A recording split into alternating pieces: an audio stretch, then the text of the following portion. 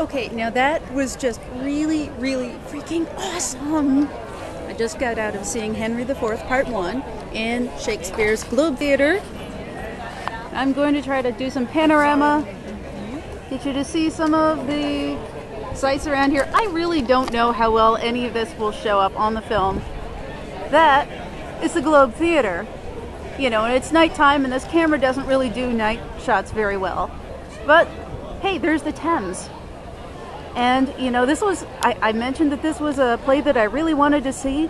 Um, I studied a lot when I was taking a Shakespeare course, and I wrote a whole paper based on Hotspur, who is my absolute favorite uh, Shakespearean character. I've only seen this play act, performed once before, and that was by an all female troupe of uh, University of Illinois students.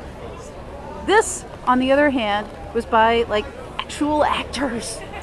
And they just really did a wonderful job. Oh my god, it was I, I, I'm I'm geeking out absolutely, but it was um, yeah uh, Sir William Falstaff is actually somebody semi-famous. He had one of those very recognizable voices, but I didn't recognize any of the um, uh, TV or film credits that he had, so I'm gonna have to do some uh, Google work. Um, yeah, also the guy playing Hotspur, he was actually fairly close to nailing it. of course, you know, I, I may sound like uh, Harold Bloom, uh, famous Shakespeare critic, and he, he once uh, said in his book all about Hamlet that he'd never seen a single Hamlet performance that really lived up to his expectations. And um, well, yeah, that's kind of how I feel about Hotspur. It's it's uh, yeah, he's he's a character who's really driven insane, um, trying to please his father, um, just trying to live up to being the ideal son and the the theme of honor's tongue, and uh, yeah, uh, this guy really did a good job of that. He was actually spitting uh, when he was uh, giving his uh, big big speeches. He was spitting. You could see spit flying, and I had a great seat. I actually, you know, the seats they were pretty nice. Um, you know, and I took photos, so you'll maybe see some still shots of all that. Uh, this is so cool. Yeah, totally awesome. I'm so glad that you know they just happen to have two seats left uh, when I went here this morning and bought tickets, or just one ticket. So I just totally lucked out on this one. They don't allow film inside, or else I would have, you know, shown you some of what the inside looks like on this video. But you'll have to see the still shots for that. This was just so cool. You know, lots of really great actors. You really got a sense of what was going on. And it was funny. And you know what? They sang and danced all these little numbers in between the scenes and the, and uh, the acts. And uh, you know, that's something that was actually pretty true to Shakespeare's time.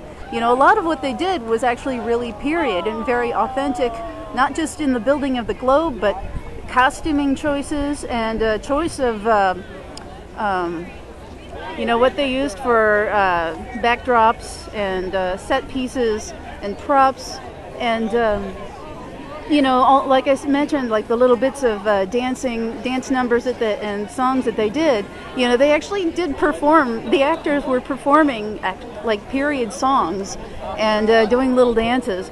And uh, at the very end, uh, you know, after the play was over, and you know, the actors usually come out and they bow and everyone applauds. Well, you know, for this this time, you know, before they actually, you know, started bowing, all of the actors came out onto the set again, and they did like the electric slide, or uh, you know, some some other kind of line dance. It was like a cross between every sort of line dance choreography, you know, all just piled into one, and it was just awesome. And the audience was clapping, and well, you know, I'm sure the line dance itself is not period, but or they weren't period moves necessarily, but that's not something that you can really prove one way or the other. So who knows? Maybe maybe they did do the electric slide in Shakespeare's day. It, it's just you know I'm surrounded by all of these audience members who are totally totally geeking out and just having as much fun as I've had. So it, it's there's a lot of fantastic energy here right now. Okay. Yeah, I, I, I gotta go. Regret, regrettably. But uh, Yeah, this was awesome. Awesome!